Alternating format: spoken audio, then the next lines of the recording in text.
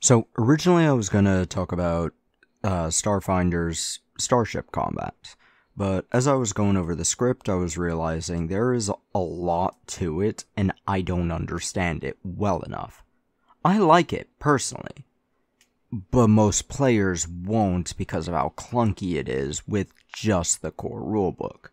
But we've got the um, Starship Operations Manual that kind of clears things up, and then coming sometime this year, probably the end of this year, there's a basically Pathfinder Unchained for Starfinder coming out.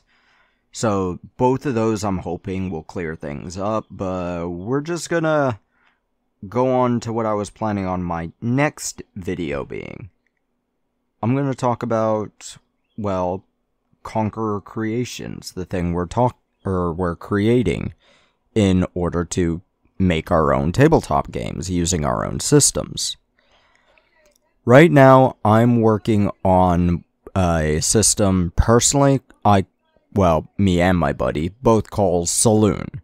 It uses a deck of 52 cards, jokers included, and no dice whatsoever. I'm real close to getting to a testing point, actually. I think I'll probably be able to test it a week after this video goes out.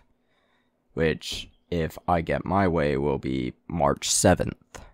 But, you know, that's not a guarantee. I want to talk about that for a little bit because that's the one I know the best. We're also working on 9stat, which keeps getting reworked and reworked and reworked because we're realizing how complicated it is. And MAW, M-A-W, which I ain't got a clue about, to be honest with you. I know enough about it, but I can't give any sort of description of it other than the setting being semi-Asian uh, based. Now, like I said, the saloon game, it works off a blackjack system, you know, trying to get us close to 21 without going over. We realized that some states might have a problem with that, so we ended up creating our own form of deck, which that's a long ways way, but we still got most everything set up.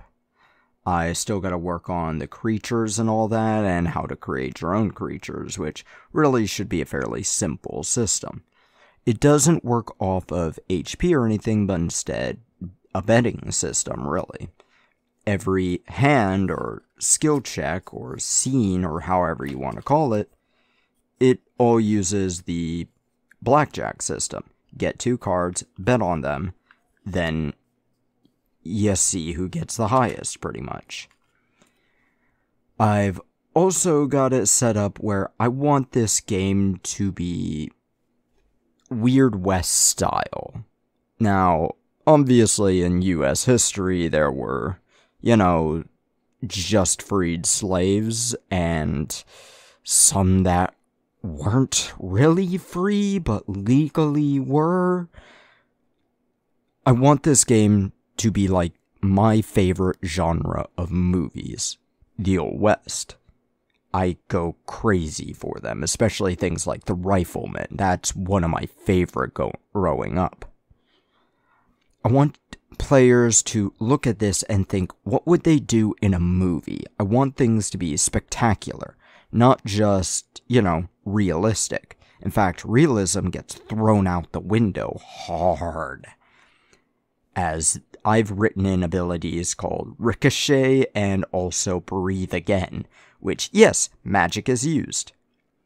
So far, I've got, I believe, seven different types of creatures human, beast, undead, phantom, supernatural, cryptid, and one more that my mind cursed, cursed creature.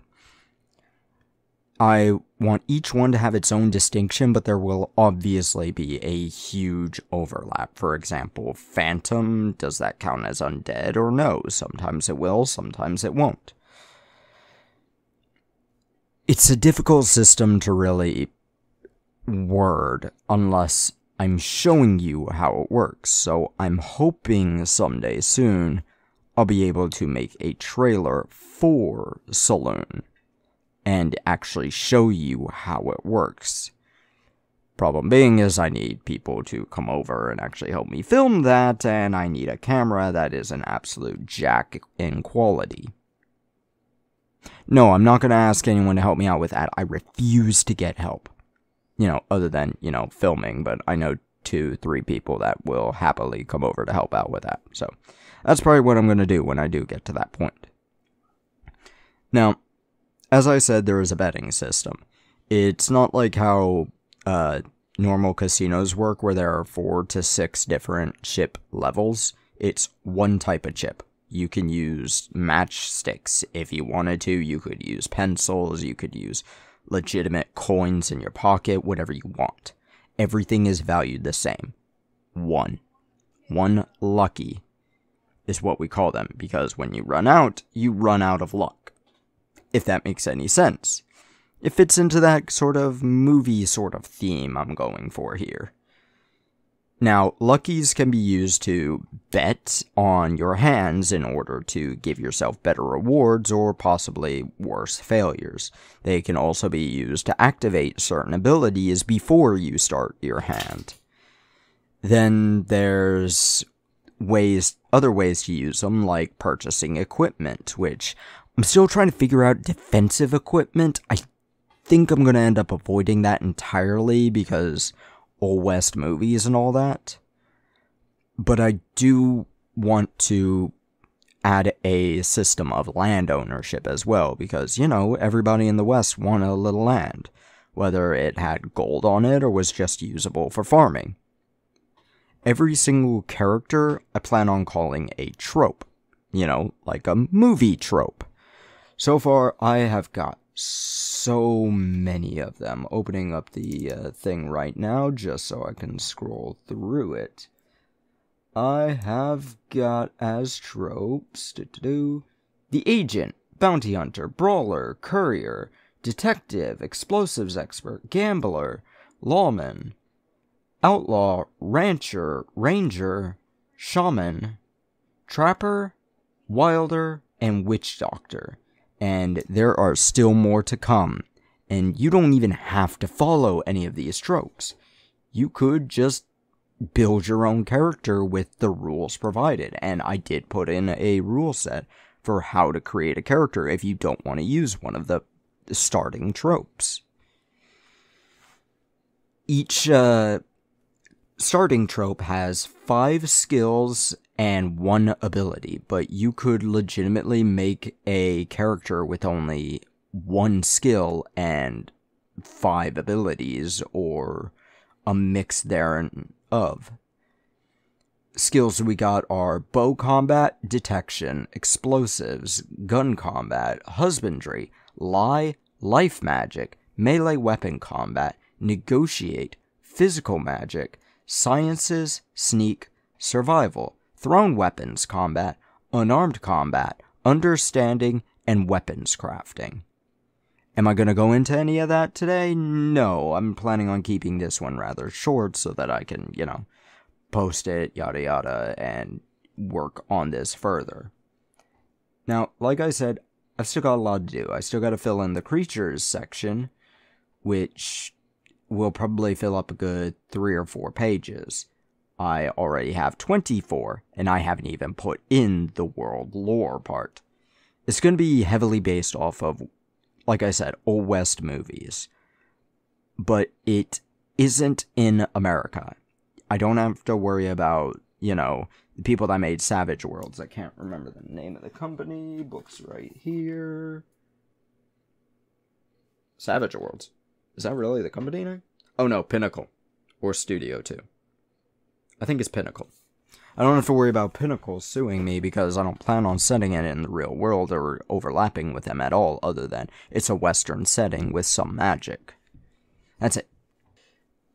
I'm hoping that the world will be interesting, but in all honesty, you could end up using the system to create your own. We do plan on using the Orc license, so everything is up to you, really. Well, I shouldn't say it that way. If you want to create something for it, you are at full right to do so. Not only are you at full right, I'm hoping to, you know, be able to promote it. I'm working on setting up a Twitter account for the company right now. I have created a Facebook, believe it or not, and even our own website, actually, which I will link down below. But for now, I'm gonna get back to work. So all of you can just shove off.